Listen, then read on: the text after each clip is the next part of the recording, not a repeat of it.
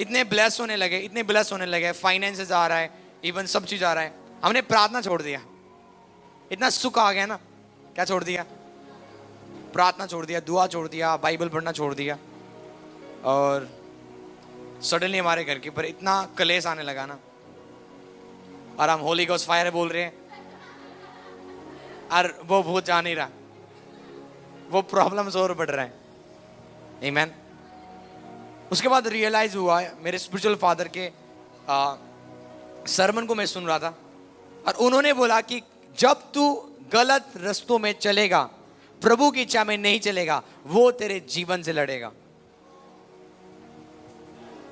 तू सफल नहीं हो पाएगा। जानबूझ के परमेश्वर तेरे नाम को कैंसिल कर देगा, जहाँ पे तेरे जॉब आनी थी। आप समझ में क्या बोल रहा हूँ? वो लड़ता है जब आप उसकी इच्छा में नहीं चलते हो। प्रभु ने बोला, इधर जा और तुम कहाँ पे जा रहे हो? उधर जा रहे हो। और तुम बोलते हो मैंने प्रभु को अपना जीवन दिया। वो एक झूठी चीज़ थी जो तुमने चर्च में आकर गवाई दिया। मैंने अपना जीवन प्रभु को दे दिया। अभी भी किसके अनुसार चलते हो तुम?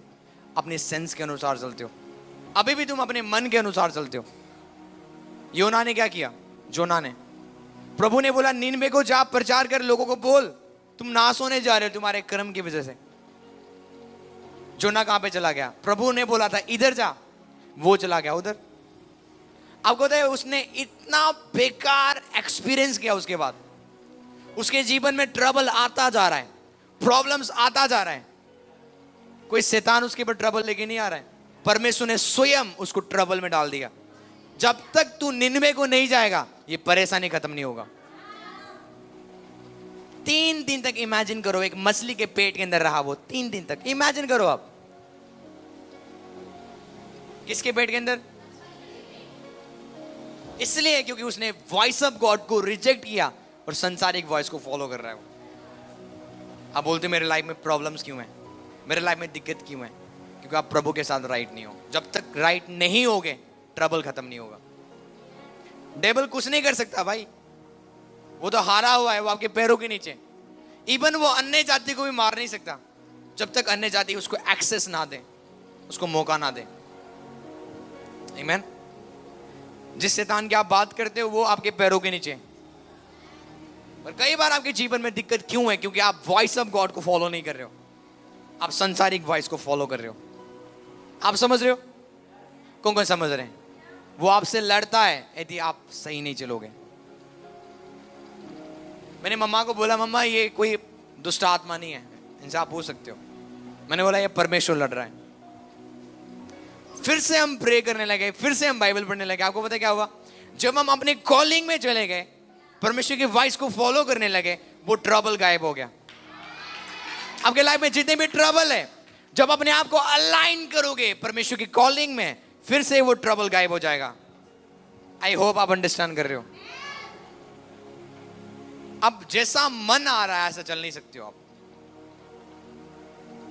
बाइबल कहती उसने अपने लहू देकर मुझे और आपको खरीदा। किससे खरीदा? किससे खरीदा आपको?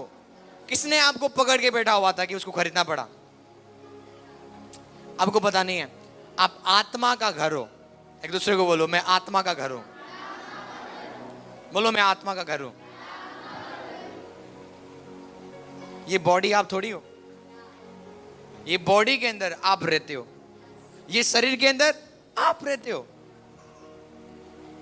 या तो आप इस घर को शैतान को दोगे काम करने के लिए, या तो आप इस घर को परमेश्वर को दोगे काम करने के लिए। पहले संसार में कौन आपको चलाता था?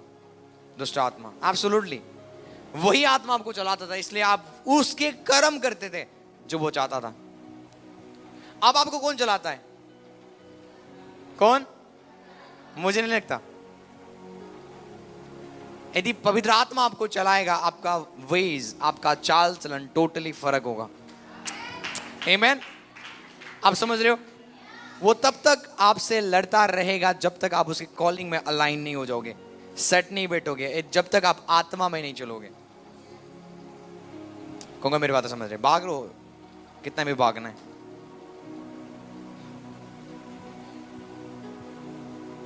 ये प्रॉफिटिक वर्ड है सबके लिए। Amen?